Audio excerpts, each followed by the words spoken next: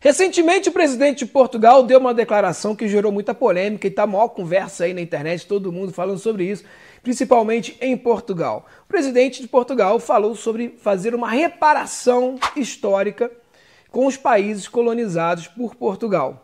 E eu vou dizer uma coisa para vocês: o Brasil não precisa de nenhum tipo de reparação financeira por parte de Portugal. Guardem seus euros. Apesar do Brasil ter sido, sim, muito prejudicado por Portugal na época do colonialismo e até hoje sofremos as consequências disso. Sei que os erros de Portugal não são relatados para os portugueses. Infelizmente, se você andar por Portugal, só vai ver monumentos dos heróis, os grandes conquistadores que ensinaram civilização para o mundo. Mas na realidade, a gente sabe que não foi bem assim. Por exemplo, tivemos mais de 6 milhões de pessoas que foram utilizadas com trabalho forçado. Eu gostaria de colocar um outro termo aqui, mas o algoritmo não vai permitir. Sabe, alguma coisa tipo como trabalho compulsório, que foram sequestrados lá da África e trazidos à força para o Brasil para servirem como mão de obra? Pois é, essas pessoas, depois de alforriadas, não tinham para onde ir, não tinham condições, não tinham herança, então surgiram as favelas. E o Brasil lida com essa desigualdade social, desigualdade racial e pobreza até os dias de hoje. E um outro exemplo também são os povos nativos que aqui viviam antes da chegada dos tais descobridores. Né? Aqui existiam pessoas, olha só, foram descobertas pelos benevolentes colonizadores. E esses povos indígenas, os que não se submetiam a serem utilizados como trabalho forçado, trabalho compulsório, se é que você me entende, eles foram aniquilados. Eu poderia colocar outra palavra aqui, mas aí de repente o algoritmo iria me barrar. Foram povos que foram aniquilados, tanto fisicamente como também a sua cultura, que deixou de existir, a sua língua, os seus costumes, os seus conhecimentos, que foram completamente aniquilados da face da terra pelos benevolentes descobridores.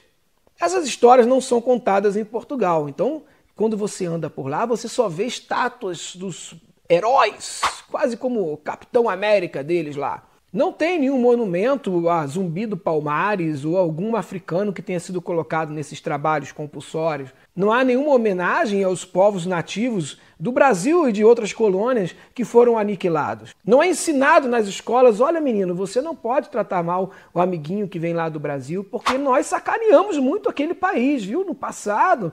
É, eles sofreram muito com a gente, até hoje eles passam dificuldade por conta daquele tempo. Não, isso não é ensinado.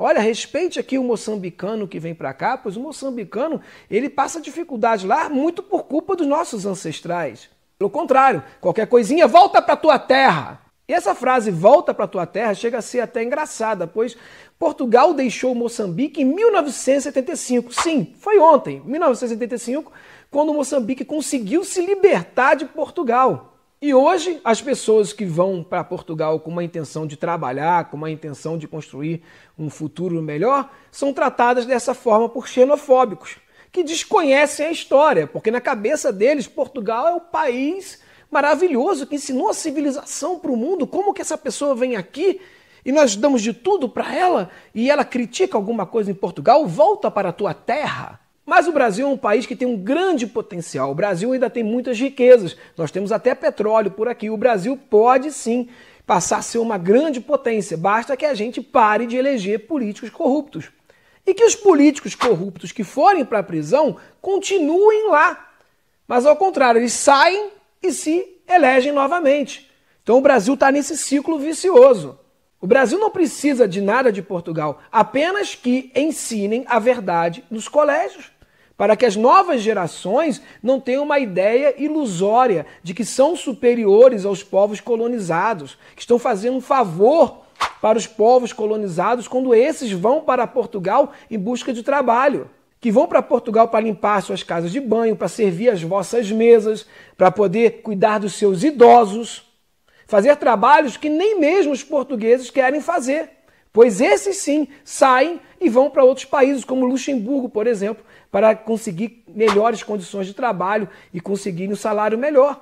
Combatendo a xenofobia já vai ajudar muito o Brasil. Agora, em relação aos países africanos, realmente precisa de alguma compensação financeira. A África precisa ser ajudada, não somente por Portugal, mas pelo mundo, pois a África foi arrasada.